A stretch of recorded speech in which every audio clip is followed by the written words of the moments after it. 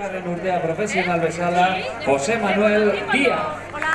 Jaro Nudia zerriko hau maika urterekin laugarren demoraldia profesional bezala, eskalatzaile eta sprinter bezala nabarmentzen da, voltaren urte joko etapa baten, bigarren zelkatu izan zen Antonio Angulo, Kolombiarra, hogeita hiru urterekin, Bibien hemen italiako giro zikistiko lasterketan irabazi zuen, Andres Camilo Ardila.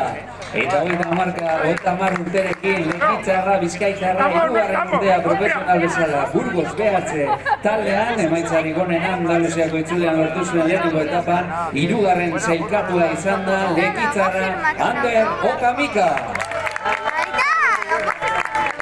Venga, oso aprobetxatuko dugu, eh? Bizkaitarra hemen etxean izan da, Ander, bueno, gaurkorako, ba, zuk ibilbidea ondo ezagutzen duzu, hainbat kilometro egin dituzulako entrenamenduetan, gaur saletu guztia, familia laguna bertan izango dituzu, ez da?